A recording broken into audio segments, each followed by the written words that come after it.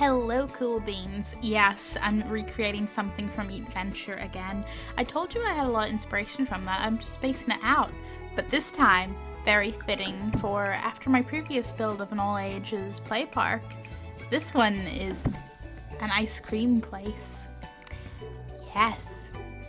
So, concept is again taking the layout, more or less, from Eatventure, aka the screenshot you saw at the start. I've done this a few times. I've done a cup. I did a little cafe. I think I've done, have I done a couple of restaurants? I can't. I keep cannot keep track of what I've done already and what is still to be done. But you know, I've had a cute little cafe that I tried to match to the colors of the actual game. I've done a restaurant that I ended up taking more inspiration from the likes of Five Guys and stuff like you know very like white and red. This one is another layout.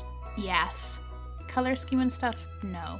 uh, I have ran with it and it's sort of you're gonna see it's it's kind of place that's trying to be very fun very like extra quirky. Like it wants to be very like instagrammable. You know it's not just selling you ice cream it's selling you a visual experience and a backdrop for all of your photos. Whether you're bringing the family around after being at the uh, all ages play park or maybe you're hanging out with your friends after school I like to think all your Sims will find this nice, because who doesn't like ice cream? To that one person out there who's like, I'm lactose intolerant, blah. You're okay. The people who actually just don't like ice cream though, like what like what's wrong with you? Your preferences are valid, but I'm still going to be a sarcastic little I should learn Simlish for um, being a sarcastic little shit, because that's all I am. But yes, it's very blues, pinks. As we get into more of the decor, there's more fun color things. Like some of the rugs that I can't remember which pack it's from, but like it's all sweets on it it's just very, very fun, and it has a nice outdoor seating area as well. There's lots of string lights out there. There's a nice little seating area. Like, you could have your inside Instagrammable cafe vibe. You could have your outside beautiful nature landscaped vibe. Plenty going on. And see, a bathroom, because the Eatventure places don't have bathrooms, because oddly enough, it is a little mobile game. An idle, like, restaurant cafe mobile game. It they don't need bathrooms. But your Sims, your Sims would greatly appreciate a bathroom, and I can understand that. I am I am here to provide for your Sims' needs. That and maybe I don't want to have my Sims having to constantly mop up after their accidents and deal with the embarrassment moodlet constantly. Yeah, that's never fun. so yeah, I think it's ended up a bit interesting because obviously following the Eatventure layout, there's that huge counter space and so many ice cream machines. But that just means whenever all of your Sims decide to hog them all, hopefully there'll still be there'll be enough for everybody.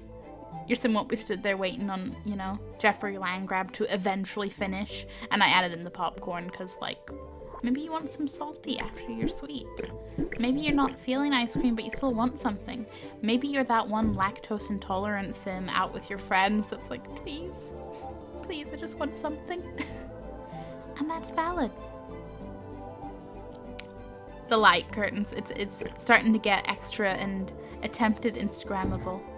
I don't know. I'm uh, both not an actual business owner of one of those places that actually is super Instagrammable and stuff. They're always amazing little cafes and stuff, and whatever else. I don't, I don't, I don't look them up. Okay, I don't, I don't seek them out. I just sometimes walk past places and go, "Wow, that's very Instagrammable." um. So yes, it is an attempt, and I think I'm happy with it. Maybe at a future point I'll like, because it wasn't initially the goal. The goal was just ice cream place, and then this is just sort of what I ended up running with, like on the spot in the moment. So maybe I'll like research different Instagrammable places and like maybe not perfectly like recreate one, but you know, take all of the like inspiration from the actual physical real life places and like make a dedicated build based on that concept. Maybe. Don't know. Talking out loud thinking on the spot. It was fun. I said, I've had a lot of fun with this. Um, I feel like I might want to consider addressing the fact that, because especially if you only like have stumbled upon my Sims channel, my newer Sims channel, like I'm a I'm as me as a Shrimpchu as a whole, I'm technically like on a break from the whole content creation thing, but The Sims The Sims is my happy place. I love building things in The Sims and as much as I have a main YouTube channel that is focused on horror games, and as much as I'm making like a little backlog for that, I don't want to sit in too many Sims builds because I will have way too many.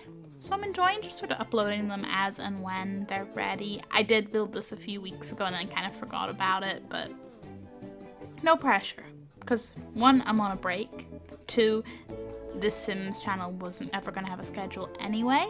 The horror game one has a schedule. The Twitch had a schedule. I'm toying with the idea if I go back to streaming to like maybe not schedule, but again, thinking out loud on the spot, just having a chit chat at you, and you're like, thanks, Shrimp, thanks for the life story. Tell me more about The Sims. Oh, look, curtain. There, I told you more about The Sims. I'm sorry, okay. Uh, you know what? No, I'm not sorry. I say I'm sorry, but it's that sarcastic, I'm not sorry. My, my default personality is just not taking anything seriously and making fun of myself. But you know what? It's nice in a not not self-depreciating way. I can't talk today. I keep tripping over like words. It's it's fun. It's beautiful. But see, all the little like beautiful art things, like everything's just like pops of color. Like pops of color and pastel vibes together in a absolutely you're gonna love it or you're gonna hate it depending how much you like the colors blue and pink, I suppose. I am, um, you know, it depends on the shade of pink. I feel like I've had a long, there's a part of me that's definitely from being a young child and having a lot of pink and just getting like burned out in pink and hating it because it was like forced, not forced and everything, but you know, there was a point where I didn't like it so much and then it was still on everything and I was like, ah, Godzilla noises. But I feel like as I'm getting a bit older, I can appreciate pink a little more. I still don't necessarily like it, but some shades are alright.